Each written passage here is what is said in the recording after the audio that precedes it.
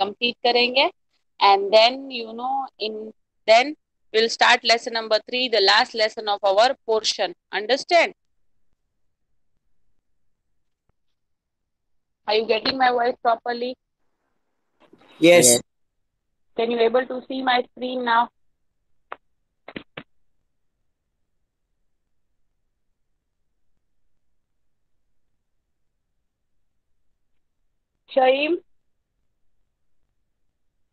Hello? Hello? Boys, can you able to listen me? Yes. Okay, Jishan, come on, start reading. Types of democracy. Various countries in the world have democracy. Hmm. See, there are types of democracy के भी types होते हैं और various countries जो है world में they are having a democracy काफ़ी ऐसी कंट्रीज़ है मतलब ऑलमोस्ट वेरियस जितनी भी कंट्रीज़ है पूरे वर्ल्ड में, सब में डेमोक्रेसी है। पर हर जगह पे डेमोक्रेसी सिस्टम कैसा है? अलग अलग है। Understand continue There still exists diversity within within various democracies democracies of different countries. See तुम diversity diversity it means difference you will see in the various democracy countries मतलब कि तुम हर जगह पे डिफरेंट कंट्रीज़ में डिफरेंट टाइप की democracy देखोगे तो कही भाई कैसी? तो कही एक कंट्री ऐसा है our country has a parliamentary democracy system and in country like USA is having a presidentially democracy system तो फिर किस तरह से थी? हमारा कंट्री थी दोनों कंट्री में डेमोक्रेसी है। Democracy it means people vote देंगे और फिर अपनी गवर्नमेंट को चूज़ करेंगे। Yes that is known as democracy मतलब कि जो सिटीजन है they will give the vote and they will choose their government but see president और तो क्योंकि हमारी कंट्री जो इंडिया है, उसमें प्रेसिडेंट पार्लियामेंट्री डेमोक्रेसी है। पार्लियामेंट्री डेमोक्रेसी इट मीन्स यहाँ पे हम प्राइम मिनिस्टर चूज़ करते हैं। अंडरस्टैंड एंड डिसीज़न जो है गवर्नमेंट मतलब कि we choose the president of India prime minister तो जो है, वो पार्लियामेंट का पार्ट है. जबकि प्रेसिडेंट का यहाँ पे इलेक्शन नहीं होता इंडिया में. इंडिया में प्रेसिडेंट का इलेक्शन जो है सिटीजन से नहीं होता है. यहाँ पे सिर्फ़ प्राइम मिनिस्टर का इलेक्शन सिटीजन के तौर होता है. जबकि अमेरिका में प्राइम मिनिस्टर नहीं होता डायरेक्ट प्रेसिडेंट होता है, जो पूरी गवर्नमेंट को रन करेगा. एंड वो प्रेसिडेंट जो है उसको चूज़ भी पीपल करेंगे मतलब कि सिटीजन करेंगे understand understand Yes. Continue We we shall see in detail about the two types of democracy that is parliamentary democracy and presidential Yes. democracy. democracy. See, there are two types of democracy that is parliamentary democracy and presidential democracy. USA में कौन सी type की democracy है USA में कौन सी type की democracy है Presidential. यस एंड इंडिया में Parliamentary. Okay. Now come on, parliamentary democracy. Continue. See, Parliament House, you are knowing we have learn in eight standard है पार्लियामेंट हाउस के अंदर क्या होता है? Parliament house is consist of president Lok Sabha and Rajya Sabha तो फिर लोकसभा क्या है? तो क्योंकि Lok Sabha is a lower house in parliament and Rajya Sabha is a upper house in parliament Lok Sabha के अंदर किसके मेंबर होंगे? तो कि जो रूलिंग पार्टी के मतलब के जो पार्टी इलेक्शन में विन हुई है जिसका रिप्रेजेंटेटिव जो है वो प्राइम मिनिस्टर है, वो सब मेंबर किसके अंदर होंगे? लोकसभा के अंदर होंगे। जबकि ऑपोजिट पार्टी है। ऑपोजिट पार्टी मतलब जिसकी पार्टी विन नहीं हुई है तो वो सब मेंबर किसके अंदर होंगे? तो कि राज्यसभा के अंदर। थी right now who is the ruling party अभी किसकी पार्टी पावर में है? कौन गवर्नमेंट को चला रहा है? अभी रूलिंग पार्टी कौन है? Modi.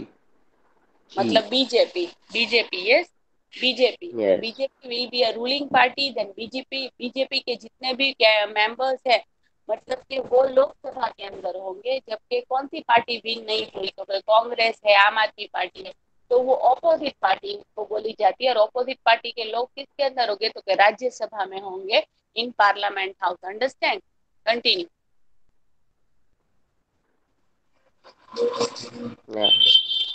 Our country has accepted the parliamentary democracy.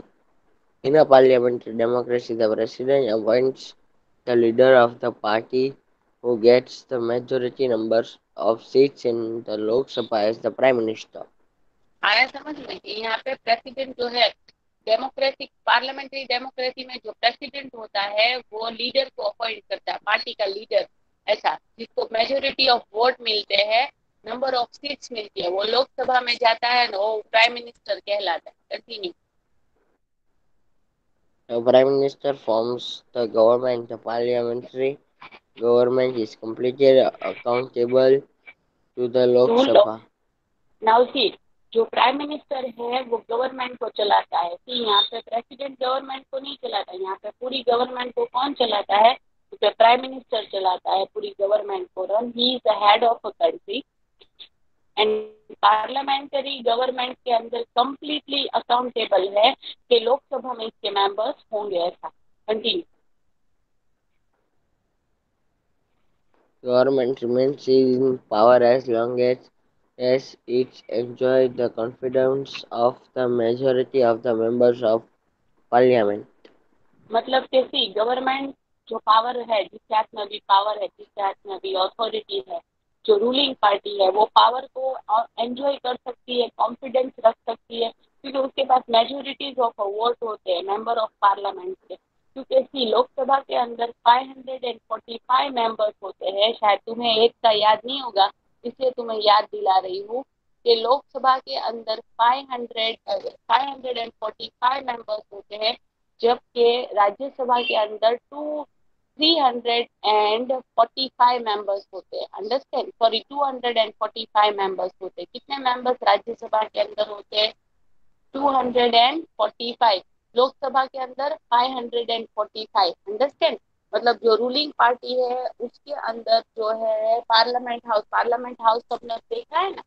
कि हमारा पार्लियामेंट हाउस दिल्ली में है। वहाँ पे सब रूल्स के डिसीज़न लिए जाते हैं। पार्लियामेंट हाउस इट मीन कि जो गवर्नमेंट को कंट्रोल करता है, जो गवर्नमेंट को गाइडेंस देता है इंफॉर्मेशन देता है और लॉ के अंदर अमेंडमेंट करता है it means to update something ये काम पार्लियामेंट मतलब जैसी प्रेसिडेंट है if he wants to take any decision for the country तो उसने जो डिसीज़न लिया तो first he have to give reason why he has taken this decision. Is this decision is going to welfare for the country, welfare for the people इससे क्या benefits होंगे? ये सब बातें जो है उनको पार्लियामेंट हाउस में जो है ऑपोजिट पार्टी के सामने रखनी है। ऑपोजिट पार्टी उनको सामने डिबेट करेगी। सबने पार्लियामेंट हाउस का सेशन देखा होगा क्वेश्चनिंग सेशन तो तुम्हें पता होगा। पता है ना, लोग इस तरह से डेस्क पे हाथ ज़ोर ज़ोर से पटक के जो है एक दूसरे से बात करते हैं। मतलब कि इट मीन्स जो ऑपोजिट पार्टी है मतलब राज्यसभा के मेंबर्स जिसमें होंगे they will you know they will find the कि वहाँ उसमें से लूप होल्स निकालेंगे। लूप होल्स मतलब के फॉल्ट निकालेंगे, जो वर्किंग गवर्नमेंट है उसमें से।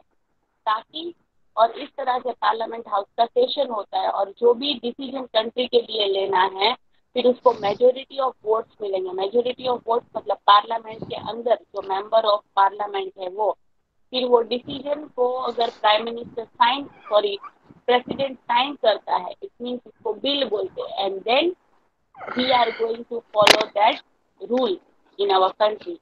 Understand? Continue. ये एक्स्ट्रा इंफॉर्मेशन इसलिए थी कि ताकि तुम लोगों को पता चले now see what is mean by presidential democracy see USA में प्रेसिडेंशियल डेमोक्रेसी है इंडिया में पार्लियामेंट्री डेमोक्रेसी यूएसए में प्राइम मिनिस्टर नहीं होता है यूएसए में सिर्फ़ और सिर्फ़ एक प्रेसिडेंट ही होता है जो पूरी कंट्री को रन करता है। Understand Yes. अंडरस्टैंड और वो प्रेसिडेंट का इलेक्शन भी लोगों के थ्रू होता है। मतलब people will give the vote and select the president continue Presidential democracy is the second important type of democracy. In such a type of democracy, the president is directly elected by people. President में people जो है president directly किससे elect होता है people से elect होता है मतलब पीपल्स उसको इलेक्ट करते हैं continue The president remains in power for a specific period as mentioned in the constitution. Presidential democracy is prevalent in many countries Including USA. See ये प्रेसिडेंट रिमेन जो है ना प्रेसिडेंट के हाथ में पावर कुछ टाइम के लिए रहता है। जैसे कैसी यूएसए में टेन इयर्स तक की मतलब पहली टेन्यूअर फाइव इयर्स की होती है, दूसरी टेन्यूअर दूसरे फाइव इयर्स की। मतलब कि कोई भी इंसान इलेक्शन को दो बार ही जीत सकता है। थर्ड टाइम वो थर्ड टाइम उसको प्रेसिडेंट बनने नहीं दिया जाता। थर्ड टाइम फिर सीधा जो, जैसे उसकी प्रेसिडेंशियल कंप्लीट हुई, पाँच साल के बाद तो वो फिर से आम आम इंसान बन जाएगा अंडरस्टैंड और यहाँ पे इंडिया में हमारे कैसा है कि एक इंसान बनता ही रहेगा, जब तक अगर उसको वोट मिलते रहेंगे। आया समझ में? जबकि अमेरिका में एक स्पेसिफिक पीरियड ऑफ़ टाइम दिया जाता है कि भाई हाँ पाँच साल कंप्लीट हुए तो फिर से इलेक्शन आएगा। एक इंसान मैक्सिमम टेन ईयर्स तक जो है बन सकता है। टेन ईयर्स के बाद जो है वहाँ पे वो इंसान सेम जो है, फिर से उसको फाइव ईयर्स मतलब सेम से सेम इंसान जो है वो फिर से जो है प्रेसिडेंट नहीं बन सकता। है वहाँ पे एक स्पेसिफिक पीरियड ऑफ़ टाइम है ऐसा। And presidential democracy in many countries में ये प्रेसिडेंशियल डेमोक्रेसी डेमोक्रेसी फॉर्म चल रहा है including USA now election system in democracy तुम सबको पता है कि इलेक्शन सिस्टम कैसा होता है। तो एक, हर एक पार्टी का एक रिप्रेजेंटेटिव होता है। यस और नो फिर वो पार्टी yes, को जो है बट ऑब्वियस वो नेशनल अब कोई भी पार्टी है उसको नेशनल लेवल की टिकट कब मिलती है? That we are going to learn कौन सी कौन सी पार्टीज़ है इलेक्शन किस तरह से होता है इलेक्शन में क्या क्या होता है that we are going to learn in this topic continue ma'am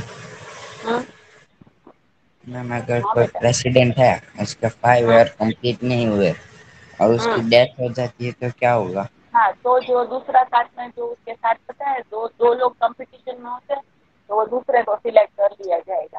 understand सिर्फ़ टेन्यूअर कंप्लीट करने के लिए। अब फॉर एग्ज़ाम्पल जैसे कि ढाई साल है और ढाई साल में फॉर एग्ज़ाम्पल किसी की डेथ हो जाती है बीच में से तो फिर जो दूसरा उसके साथ कंपटीटर होता है उसको ले लिया जाता है। जो वो जो विन नहीं हुआ होता है। आया समझ में? Okay ma'am Come on, start. Election system in democracy. Country is maximum number of voters in the world. बेटा तेरी जोर से बोल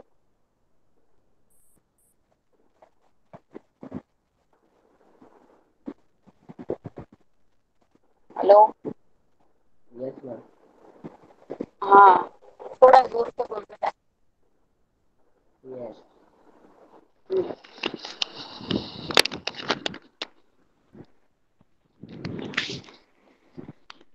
The Election Commission maintains the administration, control and monitoring of the entire process of election. Now see, our country has a maximum number of voters in the world. क्यों क्योंकि एक तो हमारी कंट्री में पॉपुलेशन सबसे ज्यादा है We are at the second rank in all over the world with the highest population. First पे चाइना है yes. तो बट ऑब्वियस हमारे कंट्री में वोटर भी ज्यादा होंगे क्योंकि पॉपुलेशन इतनी ज्यादा है इसलिए अभी इलेक्शन कमीशन जो होता है इलेक्शन का जो पूरा कमीशन कमी मेंबर्स होते हैं they will maintain the administration it means management control monitoring entire process को ये कमीशन जो इलेक्शन कमीशन कमेटी है और वो कमेटी के मेंबर्स जो है, वो पूरा मैनेजमेंट देखेंगे इलेक्शन का, उसको पूरा कंट्रोल करेंगे, उसको मॉनिटरिंग करेंगे एंटायर प्रोसेस इलेक्शन की। मतलब सी जैसे कि अभी इलेक्शन फिर से जो है प्राइम मिनिस्टर मतलब के जो है पार्टी चेंज होगी वो कब आएगा? तो two thousand and twenty four में जब फिर से नरेंद्र मोदी के फाइव ईयर्स कंप्लीट हो गए थी पहला 2014 में आया था at that time he won the election अभी फिर 2019 में आया तो ही once again won the election अभी कब आएगा? तो टू थाउज़ेंड ट्वेंटी फोर में अंडरस्टैंड कंटिन्यू अगर फिर इंडिया में ऐसा है अगर फिर से 2024 में मिस्टर नरेंद्र मोदी को इट मीन बीजेपी को हद से ज़्यादा वोट मिले तो फिर से वही पार्टी पावर में आएगी। जबकि टेन ईयर्स फाइव ईयर्स पहले फिर से ये फाइव ईयर्स और अगर 2024 में फिर से इलेक्शन होता है एंड दे विल विन तो the power will get in their hand it means India में ऐसा है कि एक पार्टी को कोई स्पेसिफिक पीरियड टाइम नहीं दिया जाता। ऐसे टाइम फाइव इयर्स का होता है, पर यहाँ पे एक इंसान बार बार प्राइम मिनिस्टर बन सकता है। जबकि अमेरिका में ऐसा है कि एक इंसान दो ही बार प्रेसिडेंट बन सकता है मतलब दो ही टेन्यूअरशिप के लिए वो कर सकता है। Two tenureship it mean only for the ten year otherwise कोई कोई तो थी, जैसे कि बराक हुसैन ओबामा है ना, उसने उसको वोट मिलने की वजह से उसने टेन ईयर्स तक किया था मतलब पहला इलेक्शन भी जीता था और दूसरा भी जीता था। देन आफ्टर टेन ईयर्स तो फिर now he will be like a citizen of America then जो है it means now see Donald Trump is there तो ही अभी उसके फाइव ईयर्स कंप्लीट होते हैं और उसके बाद अगर उसको वोट नहीं मिलते तो वोट चेंज हो जाएगा। अंडरस्टैंड फाइव ईयर्स के बाद। Continue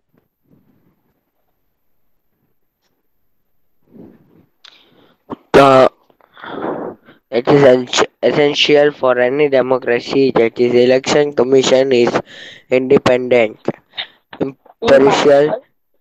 And autonomous it means कि जो इलेक्शन है तो इलेक्शन कैसा होना चाहिए? तो इलेक्शन इम्पार्शल होना चाहिए इंडिपेंडेंट होना चाहिए और ट्रांसपेरेंट होना चाहिए। Continue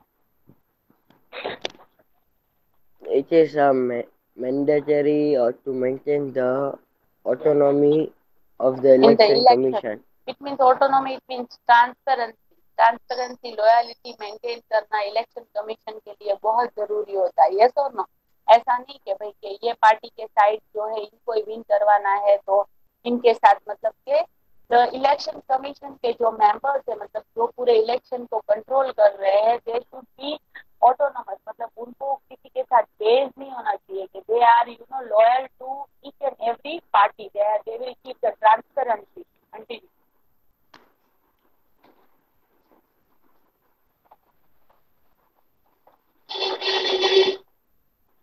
in the constitution in the constitution there are special provisions for the terms and condition of appointing the election commissioner the criteria for a service or the removal or the suspension from the service it means हमारे constitution में ऐसा लिखा गया है कुछ special provisions कुछ special तैयारियाँ की गई है in terms of terms and condition लिखे गए हैं जब भी किसी इलेक्शन कमिश्नर कमिश्नर को इलेक्शन मतलब जो पूरे कमी जो पूरी की पूरी इलेक्शन को जो है मेंटेन करेगा उसको इलेक्शन कमिश्नर बोलते हैं और वो इलेक्शन कमिश्नर के लिए कुछ क्राइटेरिया है कि उसको जो है कब उसको जॉब पे रखना या तो कब उसको सर्विस पे से रिमूव कर देना कब उसको सर्विस पे से सस्पेंड कर देना और किस तरह से जो है उसके पास से सर्विस लेना ये सब चीज़ें जो है हमारी कॉन्स्टिट्यूशन बुक में लिखी गई है the responsibility and the authority to hold the election for the parliament, state assembly, legislative assembly, president, vice president, rest of the election commission.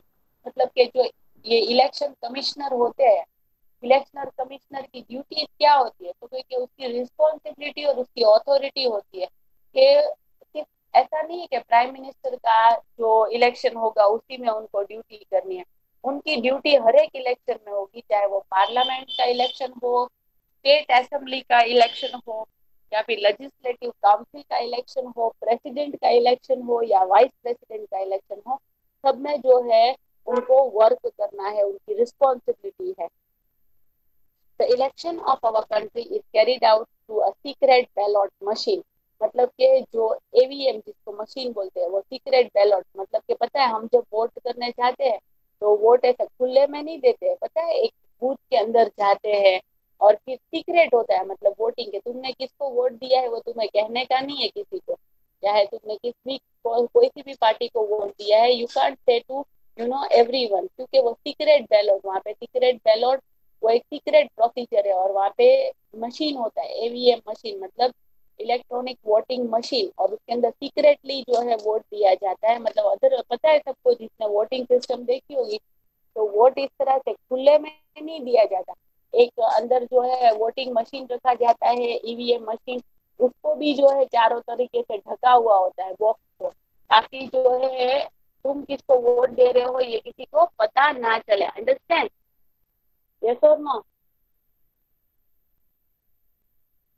are you getting my point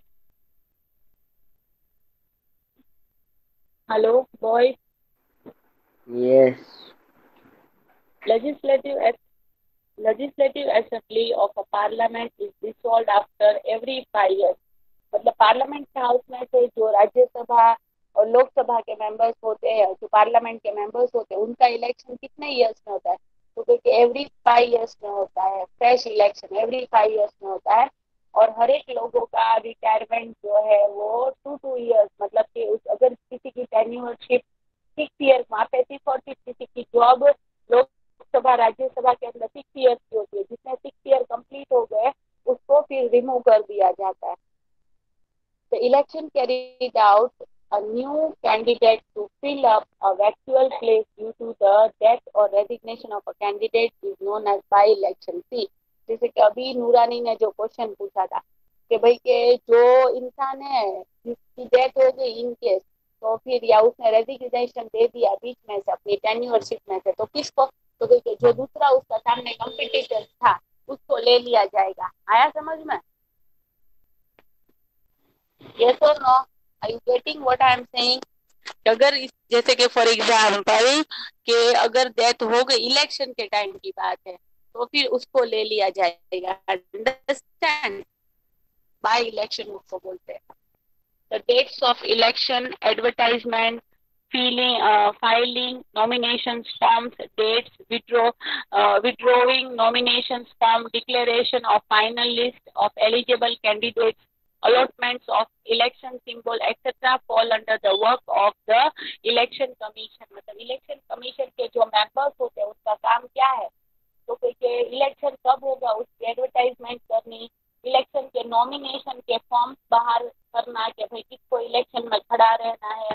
फिर withdraw करना कि भाई इसमें से अब कितनी पार्टीज़ को ही select करना है? फिर फाइनल लिस्ट एलिजिबल कौन एलिजिबल है इलेक्शन में खड़ा रहने के लिए? वो लिस्ट को बाहर करना। कितना, कितने फाइनल पार्टी सिलेक्ट हुई है इलेक्शन के लिए उसको और सब सबको अपना जो है अलॉटमेंट करना। इलेक्शन इलेक्शन का जो सिंबल होता है, जैसे कैसी भारतीय जनता पार्टी का सिंबल क्या है?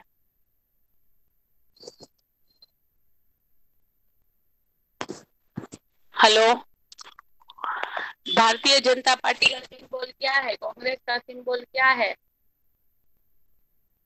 Boys Hello? Boys, are you getting my voice? Yes.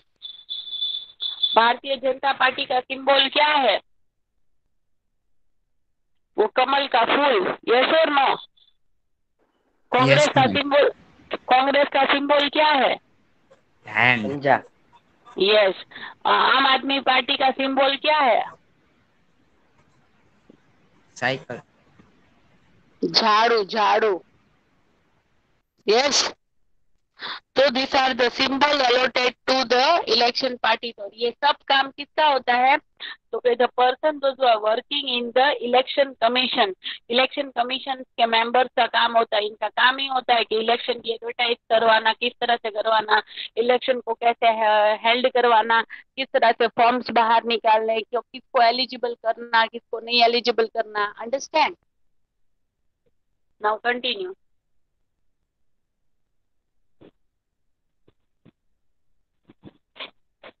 From the time from the time of announcement, the election dates, a protocol of any activity.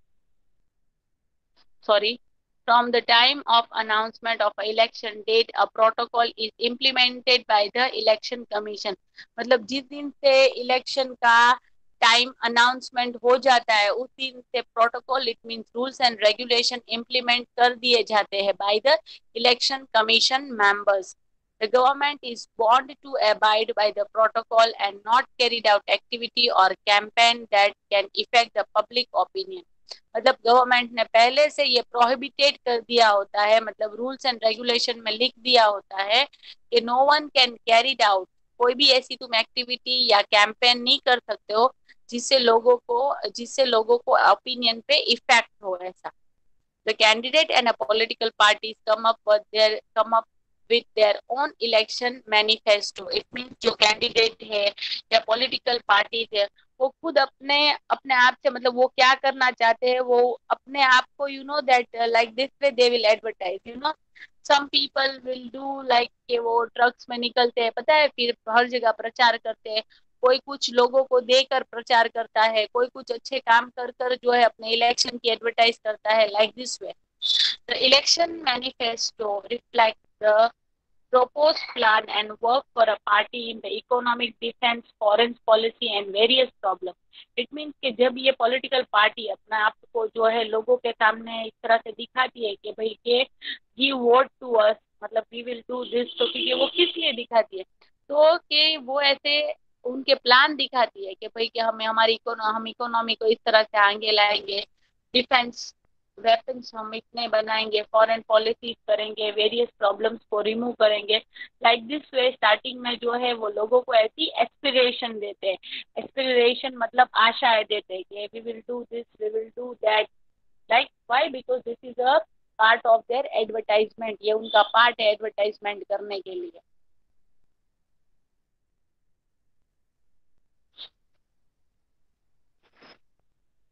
Now, come on. Ishan, start reading. Yes. Now, secret ballot In our- in democracy. In our election are conducted in a complete independent and secret manner. Indian parliamentary election are considered to be larger election election process in the world. सी, हमारी country का election किस तरह से होता है? तो totally independent है। और दूसरा क्या है, हम सीक्रेट मैनर में वोट वोट करते हैं। मतलब ऐसा नहीं कि खुले में कि हर किसी को पता चले कि भाई मैंने किसको वोट दिया या किशन ने किसको वोट दिया, नूरानी ने किसको वोट दिया। नो वो सीक्रेट सीक्रेट होता है। एंड अनदर थिंग इज़ कि हमारी इलेक्शन प्रोसेस बहुत लार्जेस्ट प्रोसेस चलती है। क्यों?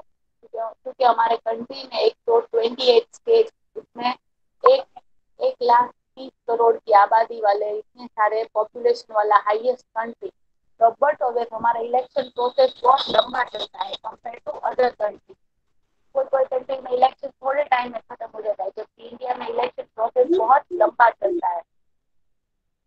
Continue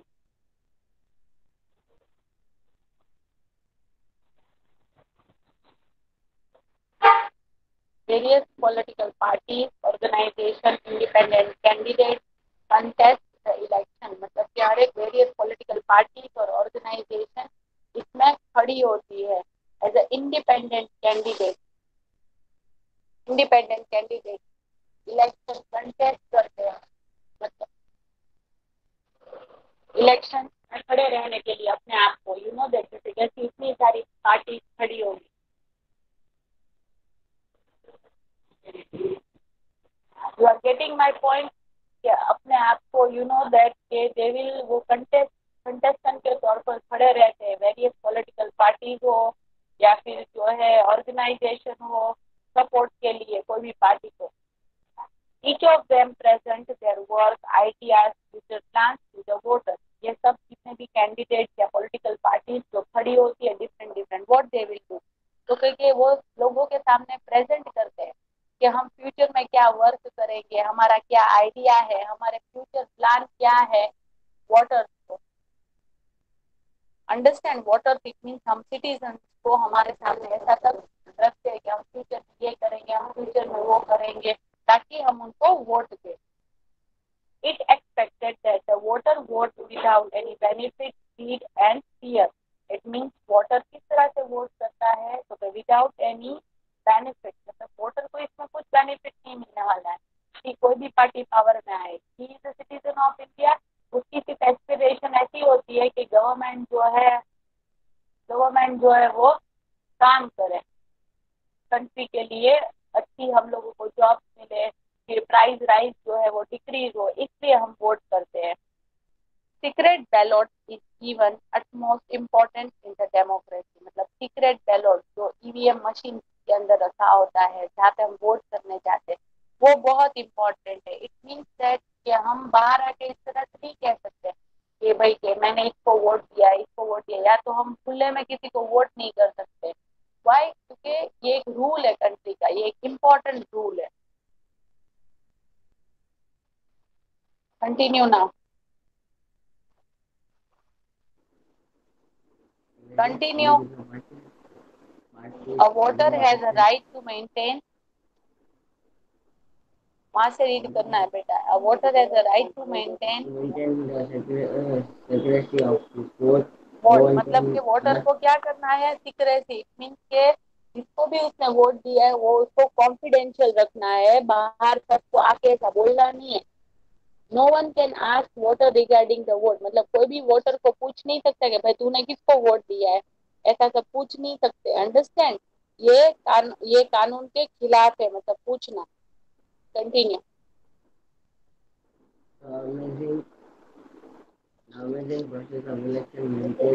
ज़ोर से बेटा या तो हैंड फ्री को नज़दीक करा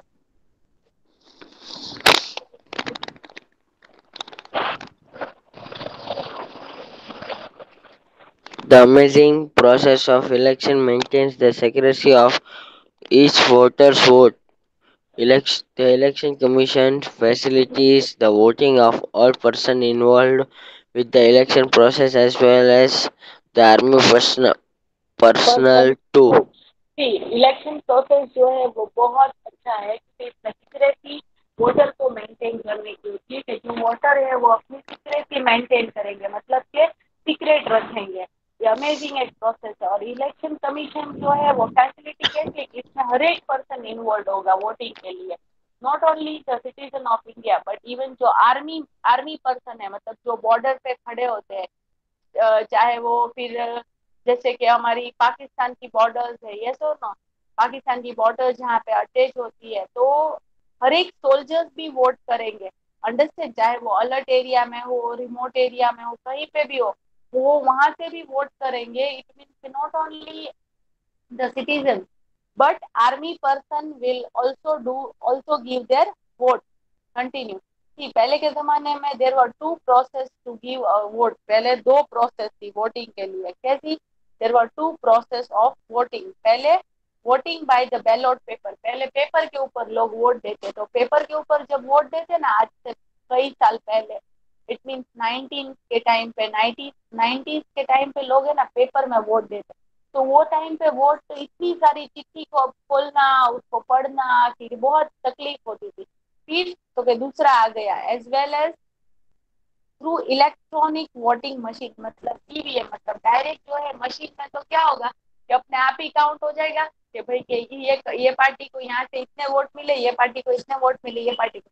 तो क्या है कि वर्क इजी हो गया और वो जो पेपर से पहले जब वोट देते थे ना लोग पेपर से तो वो चिट्ठी खोलनी, चिट्ठी पढ़नी, इतने सारे लोगों की चिट्ठी को अलग करना, फिर वो चिट्ठी को काउंट करना तो it was too time consuming और अब ईवीएम मशीन के थ्रू होता है मतलब कि जल्दी से जल्दी जो है कैलकुलेशन पता चल जाता है। ईवीएम मतलब electronic voting machine see counting ballot paper is more time consuming मतलब बैलॉट पेपर पहले जो है पेपर पे जो वोट करते थे, वो बहुत टाइम कंज्यूमिंग था।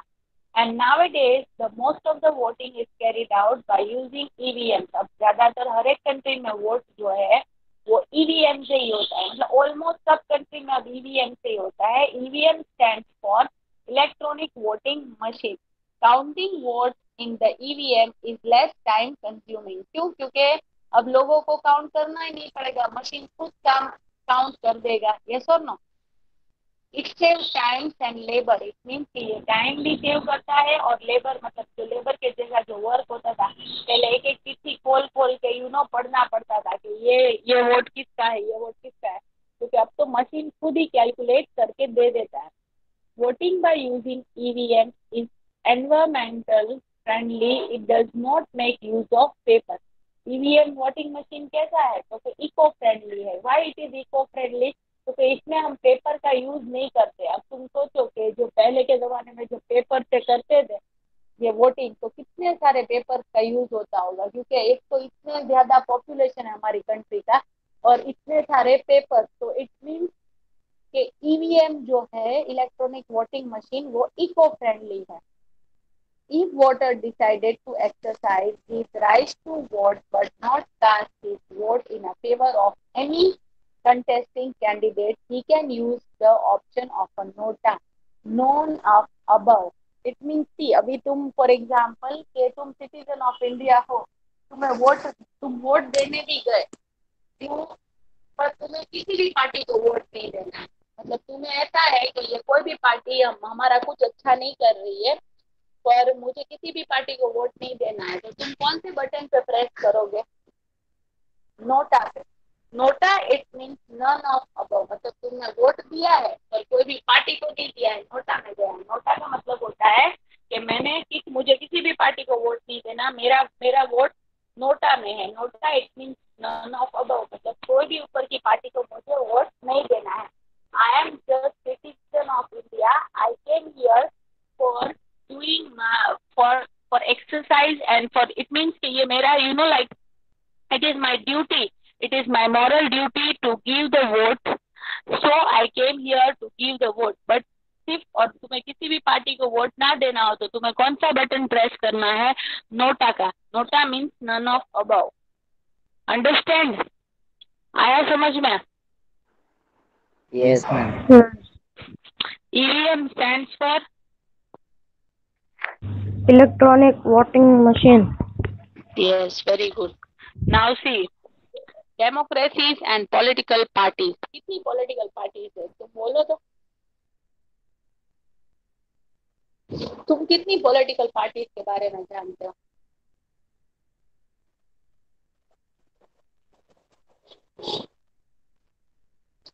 कितनी पॉलिटिकल पार्टी के बारे में तुम जानते हो बीजेपी हम्म, फिर कांग्रेस कांग्रेस फिर Aam Aadmi Party. Now see national parties मतलब you know that national parties और ये पार्टी नेशनल पार्टीज़ का मतलब होता है कि जो नेशनल लेवल पर जिसका वोटिंग होता है जैसे कैसी आम आदमी पार्टी, कांग्रेस बीजेपी ये सब नेशनल पार्टी है। जी टोटल 2014 में 1593 नेशनल पार्टी थी। कि हमें सिर्फ़ कितनी पता है तीन या चार। कांग्रेस, आम आदमी पार्टी यस और एंड बीजेपी ऐसी तीन चार पार्टी के नाम बताओगे? प्रति नेशनल लेवल पे टोटल पार्टी कितनी है? 593 इसमें से सबसे ज़्यादा वोट जिसको मिलते हैं मतलब कोई पार्टी मेन थ्री तीन या चार पार्टी ही आती है, जिसको हमें वोट करना होता है। तो उसमें से हम किसी एक को विन करवाते हैं। जैसे कि BJP is one of the one of them understand continue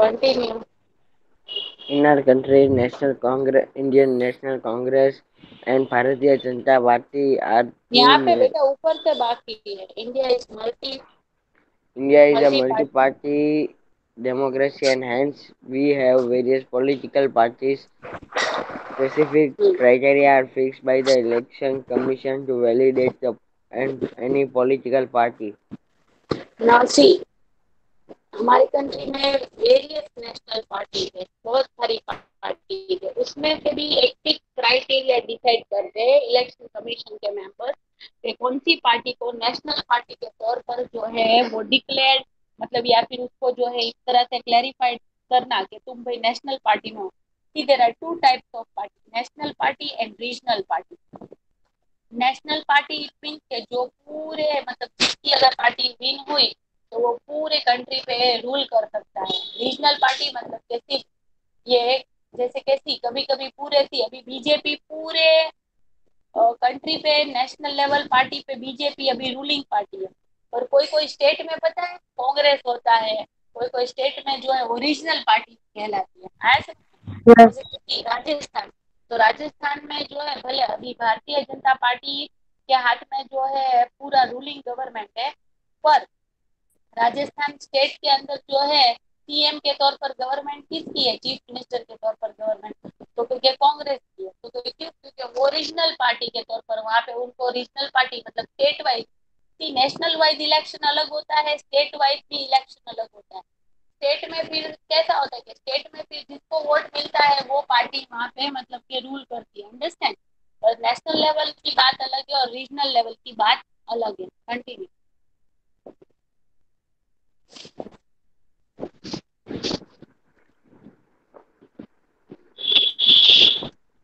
As per this, uh, as per this uh, party, they secures more than four percent of the total votes in the previous general election. In the at list, least ma- four four major major states states. Identify as a national party थी किसी भी party को national level का ticket कब मिलता है? National level का, ticket मतलब प्राइम मिनिस्टर में खड़े रहने का टिकट कब मिलता है? तो क्योंकि जिस पार्टी को कोई भी चार स्टेट में से मतलब इंडिया में टोटल 28 स्टेट है तो अगर वो पार्टी को कोई भी चार स्टेट में से मैक्सिमम फोर परसेंटेज भी वोट मिले हो ना तो ही वो प्राइम मिनिस्टर की टिकट पर मतलब नेशनल लेवल की नेशनल लेवल के तौर पर खड़े रह सकते हैं अंडरस्टैंड आया समझ में कहती for example mister Narendra Modi को नेशनल लेवल तक अपनी पार्टी को जब तो उनको जो है एटलीस्ट चार स्टेट में से चार परसेंटेज वोट तो मिलने चाहिए, चार स्टेट तो उनके साथ होने चाहिए, तभी जाके वो नेशनल लेवल की पार्टी डिक्लेयर हो सकती है। अदरवाइज़ नहीं। अभी फॉर एग्ज़ाम्पल किसी एक ही स्टेट में एक न्यू पार्टी ऑर्गेनाइज हुई। अब वो न्यू पार्टी को पूरे इंडिया में से किसी दो स्टेट में से ही वोट मिले। तो वो पार्टी फिर नेशनल लेवल तक नहीं जाएगी। आया समझ में? आया समझ में?